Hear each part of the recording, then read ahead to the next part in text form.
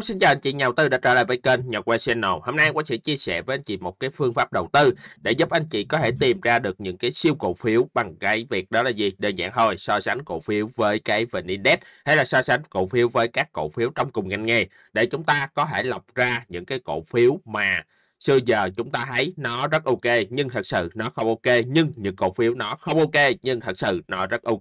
Bằng một cái phương pháp rất là trực quan mà rất là đơn giản. Thì hôm nay tôi sẽ chia sẻ với anh chị phương pháp này, so sánh với index tìm ra siêu cổ phiếu để giúp cho chúng ta có thể tự ngồi ở nhà đầu tư mà không có phải là gì, không có phải là lệ thuộc vào bất cứ ai, kể cả quan hay kể cả bất cứ chuyên gia nào trên thị trường nha.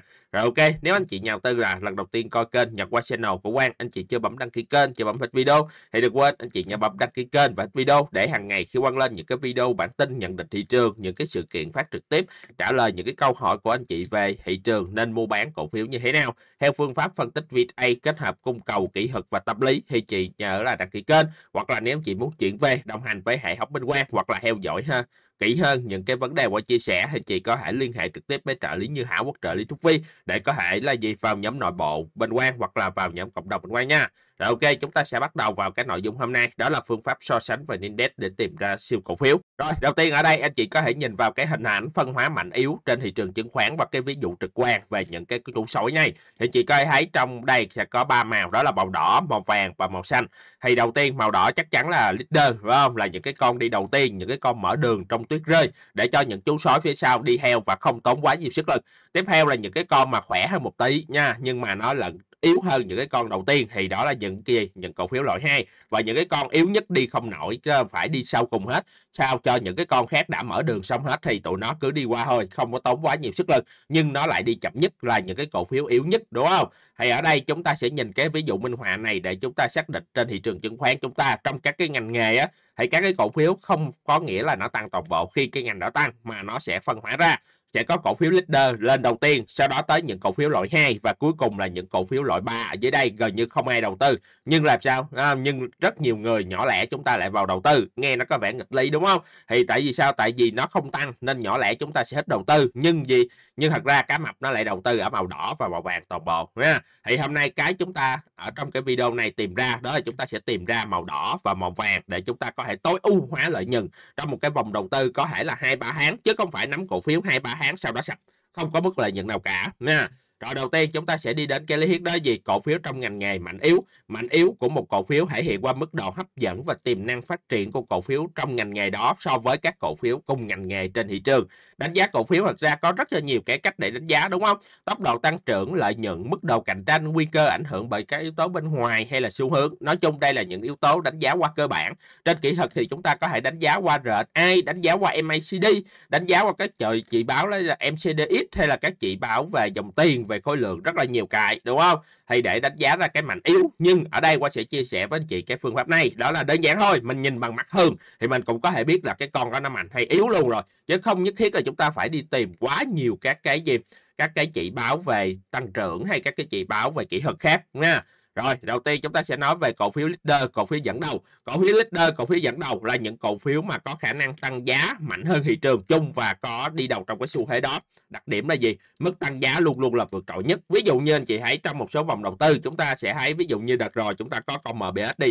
Thì đây là một trong những leader mạnh nhất của ngành chứng khoán đúng không? Nếu mà xét từ đấy tại đây lên đỉnh cao nhất thì nó tăng được bao nhiêu phần trăm trong cú hồi này? 42% trong cú hồi này đúng không? Gọi là trong cái nhịp tăng mạnh này thì trong cái ngành chứng khoán, anh chị nhìn vào cổ phiếu khác đó là SSI bắt đầu từ cái ngày tạo đáy và hồi lên 19 tháng 4 thì SSI tăng được bao nhiêu phần trăm? Thì SSI ở đây bắt đầu tạo đáy và đi lên chỉ tăng được có khoảng 12 phần trăm thôi. Mức độ trên lệch là à, 1 phần 3 đúng không? 1 phần 3 nên ở đây mức độ tăng giá vượt trội so với thị trường chung là cổ phiếu leader phải tăng là tăng mạnh nhất, nha. Rồi từ đi trầu trong xu hướng là kéo các cổ phiếu khác trong cùng ngành nghề đi lên. Tức là khi mà BS tăng thì những cổ phiếu khác nó sẽ đi theo con BS và nó tăng lên. Đôi khi nó sẽ không cần dòng tiền. Vì sao? Vì đó là sự FOMO nhà đầu tư không mua được MBS sẽ đi mua những cổ phiếu khác.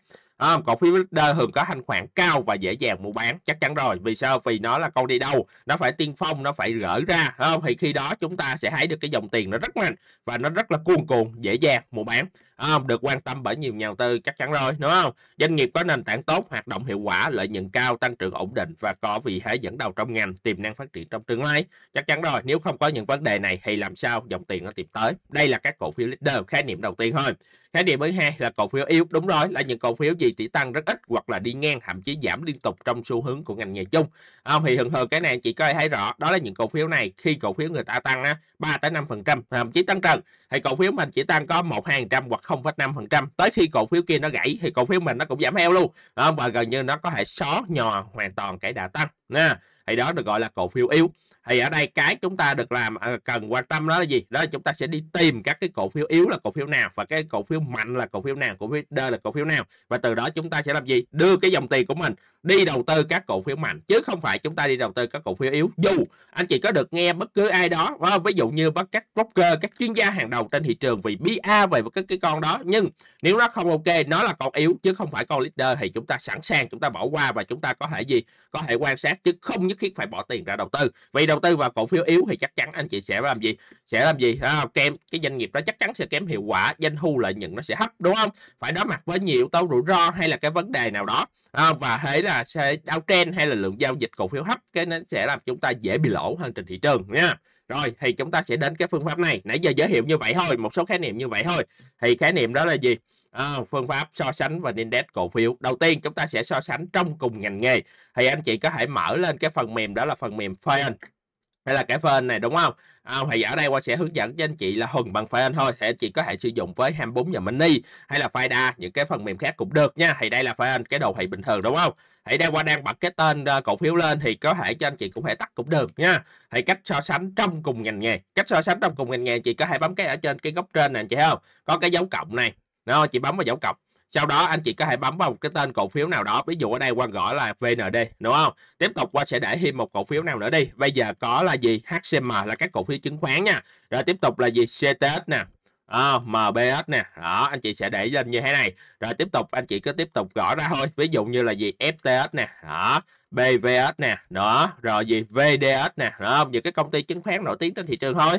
SHS nè. Đó, còn con gì nữa ta? VCI nè. Đó rồi sau khi rõ ra anh chị thấy nhìn nó giống như cái đám rừng đúng không? Thì cái này là thiết lập nha đang thiết lập thôi. Sau đó anh chị tắt tắt cái này đi. Rồi anh chị tắt xong rồi sao nữa? Anh chị sẽ á, ở trên cái biểu đồ anh chị có thể chọn cái loại nến đó là đến đường thẳng để đổi cái đồ thị ở trên ai thành cái loại nến đường thẳng nha. Rồi sau khi anh chị đổi thành đường thẳng rồi nó ra như thế này đúng không? À, nhìn nó cũng rất là gì rất là choáng ngợp không thấy gì hết. Thì mình sẽ bấm vào cái dấu gì cái cài đặt biểu đồ bên phải ở bên trên đây. Mình bấm vào sau đó mình à, bỏ cái tác dụng đó là chữ M trong một diện mạo. Thì sau khi bỏ xong anh chị thấy mất cái chữ đó ai chưa? Đó, và sau đó anh chị có thể vào vào cái mục này nè. Nè mục là gì? Đây đây nè. Anh chị bấm vào à, à, các tỷ lệ à, các tỷ lệ. Sau đó anh chị bấm vào tên mã giao dịch thì nè anh chị thấy không? Anh chị bấm vào nó sẽ xuất hiện tên mã giao dịch bên phải. Thì sau khi anh chị để ra anh chị thấy nó có cái đặc điểm gì không? Anh chị thấy có cái đặc điểm gì không? Đó là gì? Đó là cái sức mạnh của các cái cổ phiếu được sắp xếp từ dưới lên trên hoặc từ trên xuống dưới. Thì khi mình nhìn vào mình có thể là gì? Mình có thể sử dụng riêng một cái tab nào đó hoặc là mình lưu lại. Sau khi làm xong thì mình có thể lưu lại ở đây. À, mình có thể bấm vào lưu biểu đồ. Ví dụ đây là gì? So sánh đồ thì chứng khoán. Cùng ngành nghề. Cùng ngành nghề. Đó thì anh chị sẽ thấy sau khi chị lưu xong thì ra như thế này thì anh chị thấy như thế nào? Đó là anh chị thấy là những cái tên đứng top đầu anh chị thấy nó sẽ tách ra ba thành ba cái nhóm không? Nhóm đầu tiên đó là cái nhóm top đầu nằm tốt ở trên cái nhóm thứ hai là cái nhóm nằm giữa nằm khúc khúc là lạ giữa và nhóm thứ ba là cái nhóm gì? Là gần như không tăng trưởng nổi luôn. À, ở đây thật ra nếu anh chị muốn thêm những cái con như SBS cũng được và vs đi qua thêm thử con vs đi nha. Vs hình như bị hiếu đúng không? Thì chị thấy nó cũng nằm trong tấp giữa này nè. Thì sao? Thì chị thấy là để đầu tư mà có lợi nhuận trên thị trường chắc chắn anh chị phải đầu tiên ờ, đầu tư những cái con gì? Những cái con top đầu trong cái ngành nghề nè.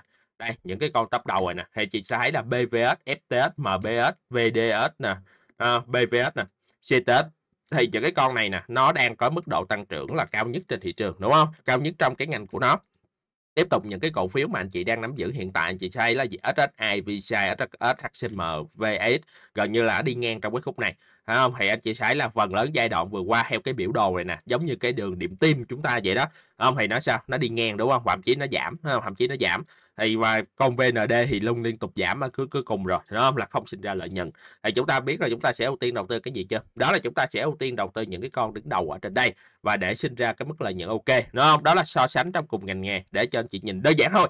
Anh chị biết vào, anh chị biết là à cái trong ngành này nè, bây giờ muốn quan tâm đúng không? Vậy thì cứ quan tâm BVS, FTS, MBS, VDS rồi gì à, CTS thôi quan tâm những con này thôi còn những con bên dưới không nên quan tâm vì sao vì những cái con bên dưới này là những cái con hụt gì sau hụt cái nhóm nào? Nhóm cuối cùng ở dưới đây nè, đúng không? Chúng ta đang quan tâm cái những cái con đứng đầu này thôi. Đó.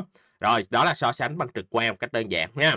Đó là cách cài đặt luôn đúng không? anh chị? Có thể cài đặt như thế này với các ngành nghề khác cũng được. Ví dụ ngành gì? Ngành cảng biển đúng không? ví dụ ngành gì? Ngành à, vũ khí, ngành hóa chất gì đó. Đó, anh chị muốn cài thì có thể cài được thoải mái thôi. Tiếp tục, đây là ngành này. Đây là cái đồ thị thứ nhất. Tiếp tục chúng ta qua đây. Chúng ta sẽ trở lại đồ thị này thì chúng ta đã biết là so sánh với gì? So sánh trong cùng ngành nghề đúng không? Đó là cái thứ nhất. Cái thứ hai chúng ta sẽ so sánh hai cổ phiếu trong cùng cái gì? Trong cùng cái ngành với nhau để chúng ta có thể xét được mức độ để chúng ta nhìn và chúng ta biết thôi. Ví dụ anh chị là mở cái gì? Anh chị mở thêm cái biểu đồ nữa nha. Biểu đồ nè. À, đây là có cái biểu đồ anh chị bấm vào à, cái dấu cộng ngay trên đây thêm thêm chức năng thêm một biểu đồ kỹ thuật nữa. Rồi nó đang ra cái dạng cũ đúng không? Thì mình có thể xóa đi mình bấm là đặt lại biểu đồ. Đây là cái SSI cũ đúng không? Đây là cái biểu đồ SSI rồi à, ai nè thì chúng ta sẽ bên đây chúng ta sẽ là bấm biểu đồ chúng ta đặt lại biểu đồ thôi. Rồi sau khi đặt lại biểu đồ nè đổi hình dạng đến bình thường. Chúng ta sẽ kéo cái này nè anh chị sẽ kéo cái này gộp vào cái thứ hai à, gộp vào giữa ra đây. Đó thì chị bỏ qua. Đây chị thấy không? Đây là cái gì? Đây là so sánh hai cái đồ thị này với nhau. Và anh chị có thể thấy ở dưới đây là cái vần index chúng ta có thể bật cái tên nó lên bật cái diện mạo nha vào cái mục diện mạo sau đó bấm vào cái gì? À, chữ m cho chị bấm vào chữ M thì đây là VN Index, đây là VN Index thì bên trên chị có thể sửa lại thành bất cứ cái gì. Thì đây chúng ta sẽ vừa so sánh VN Index vừa so sánh các cổ phiếu trong cùng ngành nghề luôn. Ví dụ anh trên anh chị gọi chữ SSI, đúng không? Thì nó đổi thành đồ thị SSI. Vậy bên dưới đây anh chị có thể sửa đổi thành chữ gì? Chữ VCI. Đúng là hai cổ phiếu này hồi nãy trong cái mục bên đây nè chúng ta có thể nhìn được đó là hai cổ phiếu SSI và VCI gần như nằm chung với nhau đúng không? Ở dưới đây. Vậy thì bây giờ mình thử so sánh hai con này với nhau thì nó như thế nào? Đây anh chị nhìn vào. Anh chị thấy là VCI ở dưới và RSI trên thì chị thấy là gì? Rõ ràng nếu anh chị nhìn vào RSI đang yếu hơn VCI dù hai con này cũng là xem xem nhau nhưng yếu hơn rất nhiều đúng không? Ở chị thấy nè, phiên thứ sáu nó giảm rất là mạnh, nó giảm gần như là phủ định luôn hoàn toàn cái cây tăng à, ờ, và có dấu hiệu nếu anh chị kẹ thử một cái trend hay một cái kênh giá nhỏ thì SSI nó muốn gãy luôn rồi nó nó muốn gãy và nó lũng lành luôn rồi nhưng ngược lại nếu anh chị nhìn VCI thì anh chị thấy nó vẫn còn đang đi lên rất tốt và cây bán tháo phiên thứ sáu nó là ít hơn vậy chúng ta có thể rút được cái bài học kinh nghiệm nhỏ gì đây không? Đó là SSI ở đây, nó khỏe hơn à, nó yếu hơn chứ, yếu hơn con VCI nhưng ngược lại, nếu anh chị bây giờ so sánh con VCI với con gì? Con MBS thì sao? MBS ở trên anh chị sửa thành MBS nha. Thì chị sẽ rõ ràng đó là gì? SSI và VCI và MBS thì con VCI nè, thậm chí chưa vượt qua được cái điểm gãy lần trước của nó nằm ở chỗ này, đúng không?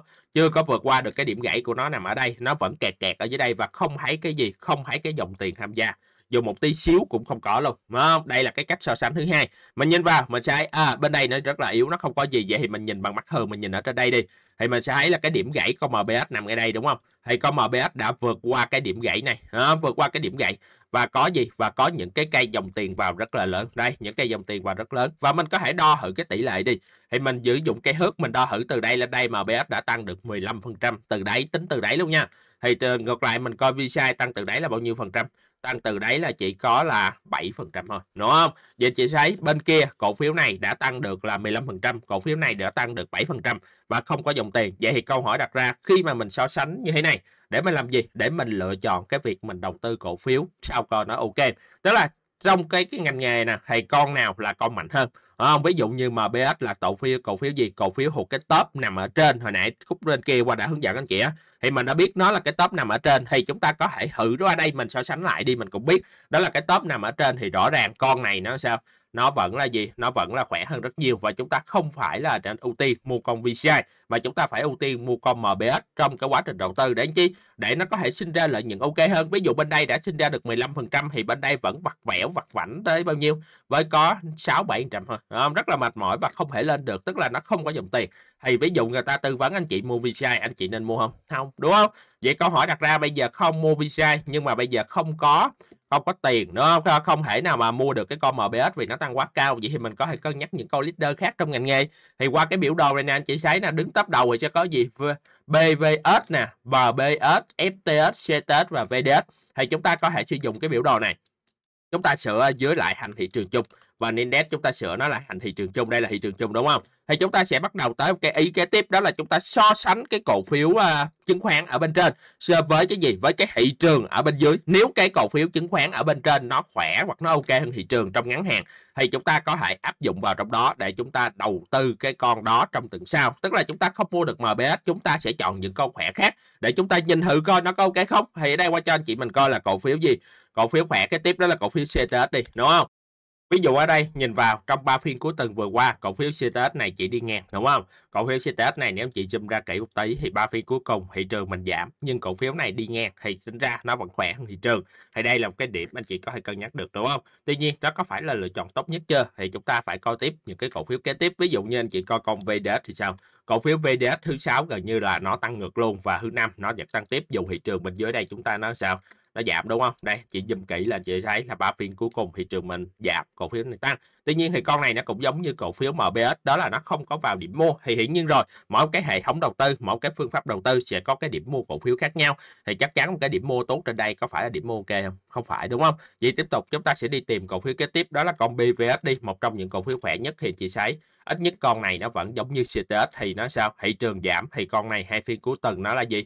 Đó là tăng, đúng không? Thì ít nhất hai con này sẽ là hai con, anh chị có thể cân nhắc đó là gì? BVS và con CTS bằng cái phương pháp này anh chị lựa ra. Hiển nhiên anh chị sẽ ờ, như là anh chị có thể bỏ qua toàn bộ những cái cổ phiếu ở cái top dưới luôn. Vì sao? Bây giờ con top dưới nó không khỏe, nó không ok.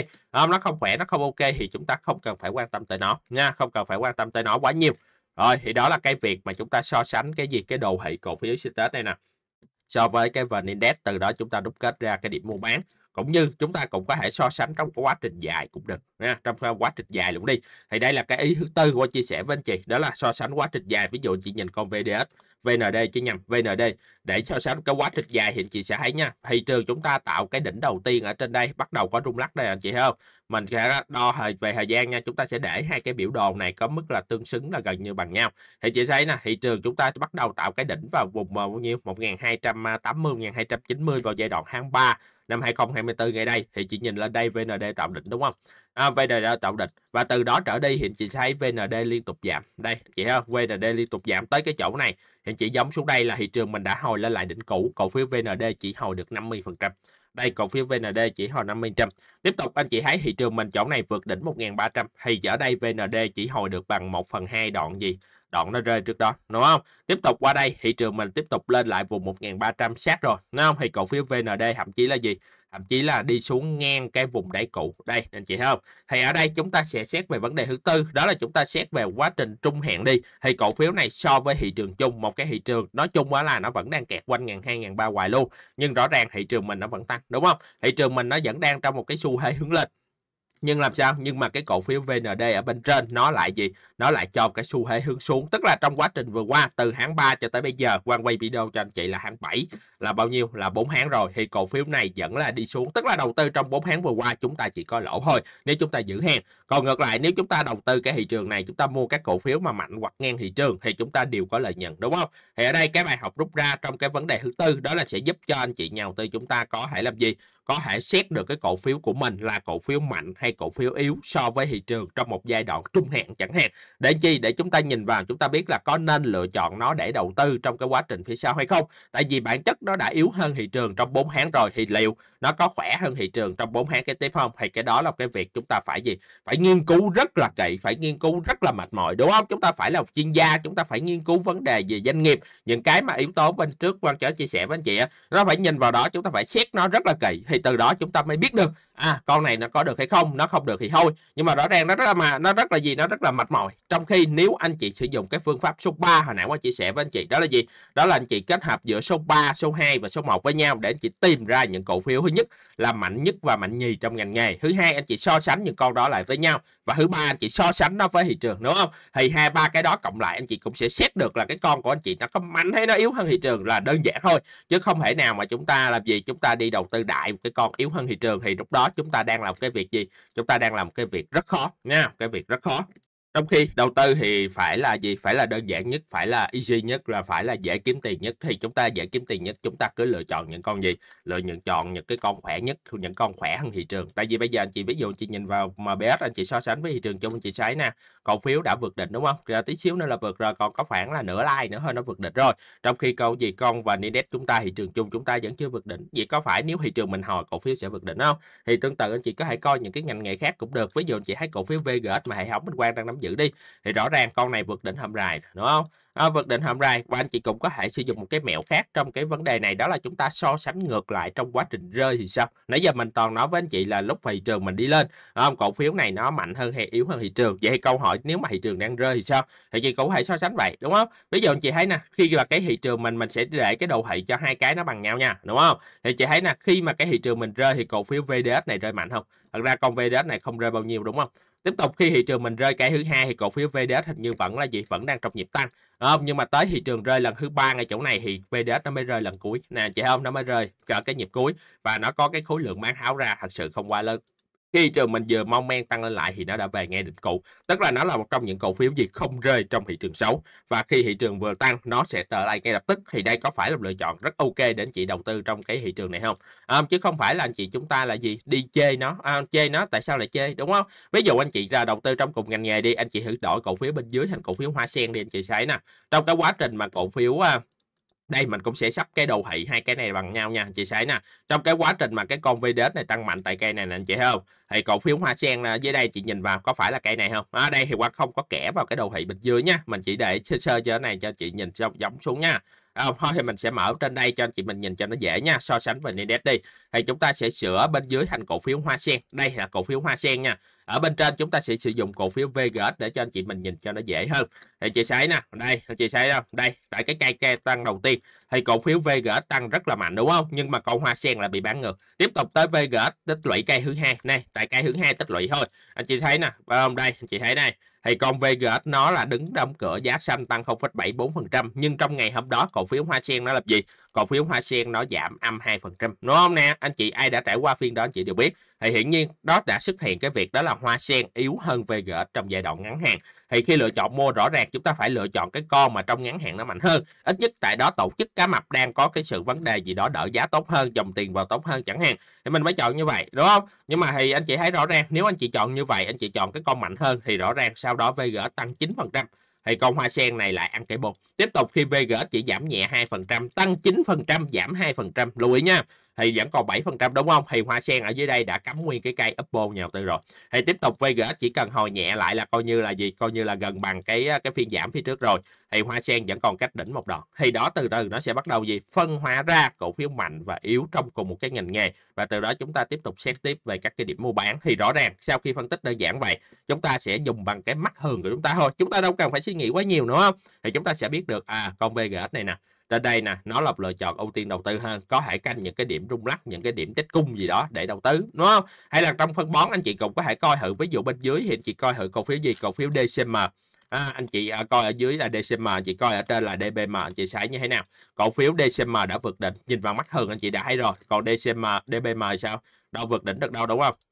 Anh chị chỉ cần để đơn giản vậy thôi anh chị cũng đã thấy được rồi. Con này vượt đỉnh và xuống test lại đỉnh vượt lên. Con này không vượt đỉnh được vậy thì rõ ràng con bên trên DBM sẽ là cổ phiếu yếu hơn cổ phiếu DCM phải đi mua mua con gì? Chắc chắc anh chị phải đi mua con DCM đúng không? Đó là cái cách vận dụng đó một số cái ờ, nguyên tắc thì qua sẽ chia sẻ với anh chị rất nhiều trong những cái video ở trên kênh của bên mình kênh Nhật Qua Channel. Hàng ngày qua sẽ chia sẻ với anh chị. Khi mà mình phân tích qua các cái cổ phiếu á, thì mình sẽ nói với anh chị à con nào là cái con mạnh hơn con nào còn yếu hơn? Thì từ đó chúng ta lọc nhà đầu tư bình thường. Ờ, chúng ta không phải chuyên gia broker để chúng ta nghiên cứu những cái vấn đề quá chuyên sâu. Ví dụ như cái gì? Chúng ta nghiên cứu những cái gì?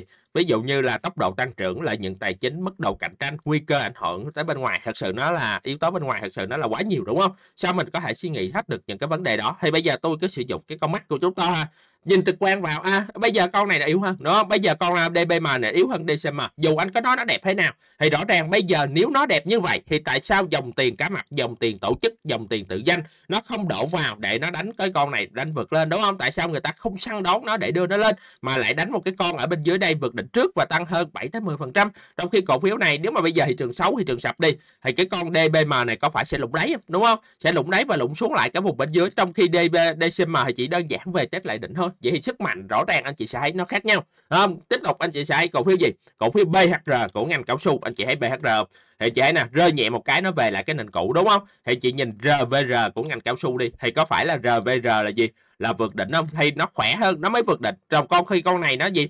Nó yếu hơn thì nó không thể vượt đỉnh đây chị không nó yếu hơn nó không thể vượt đỉnh thì khi thị trường mình rung lắc vào những phiên cuối tuần thì có con RVR chị test xuống và nó vượt lên lại và dùng đỉnh cũ. Nếu thị trường tốt nó vượt đỉnh chị tiếp đúng không? Còn con này thì lại về cái gì? Là về, về, về tính ra về cái đáy luôn rồi. Đó và khi thì con này tăng tiếp đưa ra cái biên độ lợi nhuận rất cao. Thì con này lại hòa vốn nè ví dụ cùng một cái điểm xuất phát đầu tư, anh chị đầu tư tại cái nền đi. Thì bây giờ anh chị đang lời con RVR 13% nhưng nếu anh chị đang cùng một cái điểm xuất phát, anh chị đầu tư BHR anh chị đang lời 3% chênh lệch nhau 10% hẳn thôi đúng không? Thì con này mà tăng trần thì con này cao lắm, lên là chết nền. Thì chị lời được lên là 6 700 còn bên đây người ta đã lời tới 20% rồi. Đó thì cái phương pháp so sánh như vậy đó, đúng không? Thì cái cách này có chia sẻ với anh chị ở trên kênh của bên mình, dù là khách hàng vip hay khách hàng ở bên ngoài, anh chị đang theo dõi kênh của quang thôi, anh chị cũng có thể từ áp dụng vào hiển nhiên cái việc mà anh chị lưu cái biểu đồ này nè, thì hiển nhiên anh chị phải cần cái gì? Anh chị phải cần tài khoản vip, tài khoản của bên fan vip nè vn hội viên chuyên nghiệp á. Thì chị nếu muốn mua cái phần mềm này, anh chị cũng có thể liên hệ trực tiếp với các trợ lý như hảo bên quang nha. Các gói dịch vụ này nè, nó sẽ tặng là gì? 10% ngày sử dụng cho anh chị.